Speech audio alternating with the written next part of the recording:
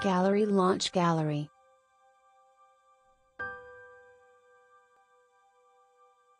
See the graphic photo launch gallery gallery.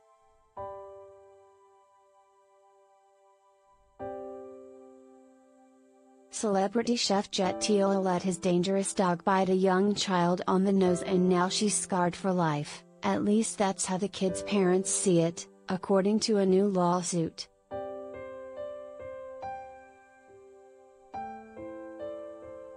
The famed chef and Food Network regular is being sued by the young girl's folks, who claim his dog, Halo, viciously attacked their daughter when she went up to say hello to the pooch.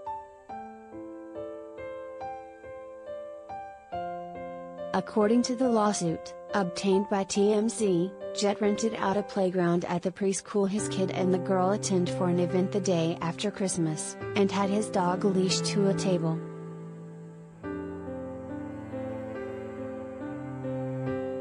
The docs sayjet's wife chose to relinquish personal control of Halo and that's when the girl gently went up to the Belgian Malinois and the dog started barking and attacked, biting her and leaving a gash on her nose.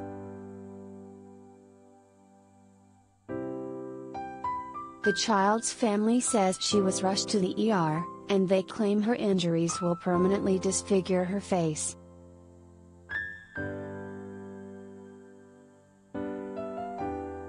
In the suit, the parents also claim Jet knew his dog was capable of being aggressive, vicious, and excessively dangerous.